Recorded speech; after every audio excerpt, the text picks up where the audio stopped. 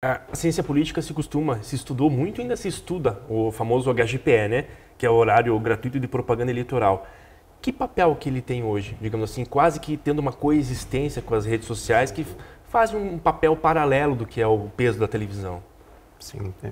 eu acho que o Thiago falou muito bem que o HGPE, é, o horário de TV, ele era uma das grandes variáveis da ciência política para explicar uma eleição, uma reeleição. Né? Era, obviamente, dinheiro, era, obviamente, né, o conjunto partidário, né, as coligações, que, por sua vez, impactavam no tempo de TV. Né? Então, obviamente, você ter aquela exposição, por mais que tenha essa premissa meio falsa de que ninguém vê o HGPE, hum. ele não só tem uma audiência, quanto ele tem uma audiência entre líderes de opinião que vão ajudando a espalhar a mensagem. Quando surge a internet, o primeiro movimento que acontece, quando a internet ganha mais força, é você fazer os cortes do HGPE e distribuir nas redes.